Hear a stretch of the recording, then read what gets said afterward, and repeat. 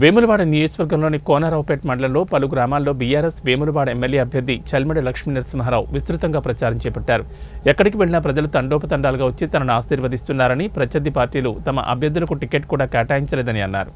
వేములవాడ గుడి అభివృద్ధికి కేసీఆర్ కట్టుబడి ఉన్నారని రానున్న రోజుల్లో పూర్తిస్థాయి అభివృద్ధి చూపిస్తామని అన్నారు. ప్రజాసేవ కోసమే నిస్వార్థంగా రాజకీయాల్లోకి వచ్చానని వేరే ఉద్దేశంతో రాలేదని అంటున్న బీఆర్ఎస్ వేములవాడ ఎమ్మెల్యే అభ్యర్థి చెలిమడి లక్ష్మీ నరసింహారావుతో మా reporter Praveen Kumar face to face. జోరు కొనసాగుతుంది. అందులో భాగంగా పల్లెల్లో పండగ వాతావరణం కొనసాగుతుంది. అయితే ప్రజెంట్ ప్రస్తుతానికి మనం చూసుకున్నట్టయితే ఇప్పుడు వెమ్లాడ కాన్స్టెన్సీలో ఉన్నాము. వెమ్లాడ కాన్స్టెన్సీ నుండి బీఆర్ఎస్ పార్టీ అభ్యర్థిగా చెల్లిమేడ చెల్మిడ లక్ష్మీనరసింహారావు గారు ఉన్నారు. వారితో మాట్లాడి ప్రచారం ఏ విధంగా కొనసాగుతున్నది అనేది తెలుసుకునే ప్రయత్నం చేద్దాం. చెప్పండి. ప్రచారం బ్రహ్మాండంగా కొనసాగుతుంది.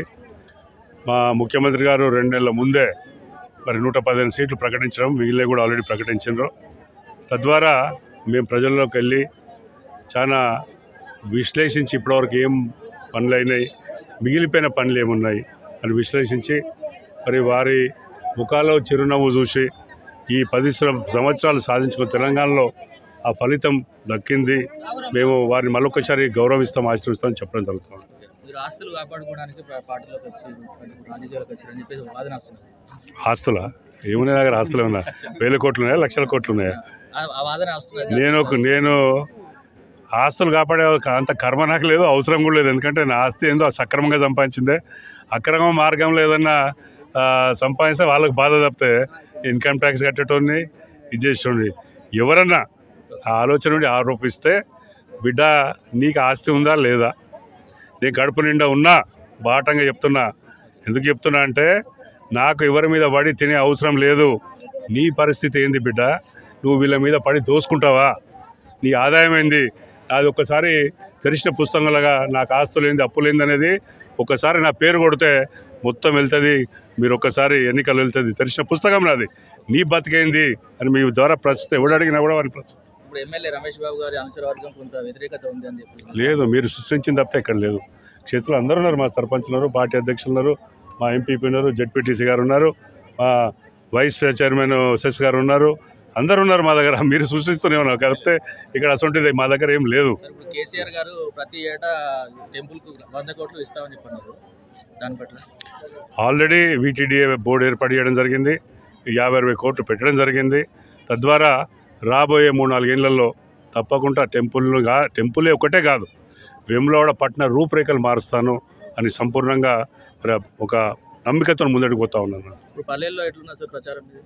బాగుంది మీరు చూస్తూ ఉన్నారు కదా బాగుంది స్పందన కూడా బాగుంది వారికి అందే సంక్షేమ పథకాలు కూడా బాగున్నాయని వారు చెప్తారు?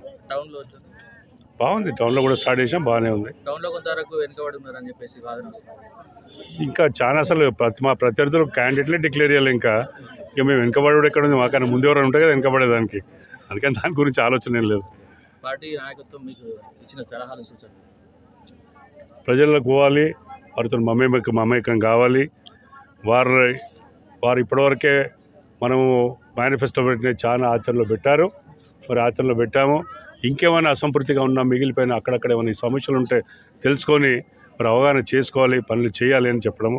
వారి సూచన అదొకటి. మీరు అధికారంలోకి వచ్చిన తర్వాత చే- చేయాలనుకున్న పనులు మొట్టమొదటి పని చేయాలి అధికారం రాకముందే మా గౌరవ శాసనసభ్యులు మా గౌరవ ప్రణాళిక సభ ఉపాధ్యక్షుల ద్వారా ఇక్కడ అవసరం ఉన్న మరి నాలుగు బ్రిడ్జిలు మూలభాగం మీద ఉన్నది. యాభై రెండు కోట్లు శాంక్షన్ చేయడం జరిగింది. అలాగే ఇక్కడ నుండి వెమ్లాడ పోవాలంటే ఈ పక్క వాళ్ళు నక్కవాగు అని అజ్మ అన్వాజ్పేట దగ్గర ఉంది. దానికి కూడా నిధులు వా- మన జీవో తీసుకురావడము కాంట్రాక్టు మరి ప్రక కాంట్రాక్టర్ను ఫైనల్ చేయడము పనులు కూడా ప్రారంభించడం జరుగుతూ ఉంది. వేములవాడను వెన్నెల వాడలాగా తీర్చిదిద్దే ప్రక్రియలో ముందుకుంటాను. మూడు సంవత్సరాలలో వేములవాడ నియోజకవర్గంలో ఏ పని కూడా మిగిలనీయకుండా పని చేస్తాను అని ముందడిపోతా ఉన్నాను. ఒక ఆశయంతో వస్తున్నా కానీ ఎమ్మెల్యే కావాలని ఆశతో వస్తలేను ఏదో నాకు సానుభూతి కావాలని నేను వస్తలేను. పని చేసే సత్తా ఉంది దమ్ముంది కాబట్టి ఒక ప్రణాళికాబద్ధంగా ముందటికి వస్తూ ఉన్నాను. అదే నా బలము ఆ బలగం అంతా ఇక్కడ ఉన్నది. ఆ బలగం కూడా నాకు సహకరిస్తుందని చెప్తాను. అయితే ప్రజలు ప్రజా మంచి కోసమే రాజకీయంలోకి వచ్చానని వేరే ఉద్దేశంతో రాలేదని వెమ్లాడ అభ్యర్థి తెలియజేస్తున్నాడు. అదేవిధంగా ప్రజలు తన ఘన స్వాగతం పలుకుతున్నారని ఖచ్చితంగా వెమ్లాడలో తమ పార్టీ గెలుస్తుందని ఆశాభావం వ్యక్తం చేస్తున్నారు. Cameraman మతిన్తో Praveen Kumar one TV news Karimnagar.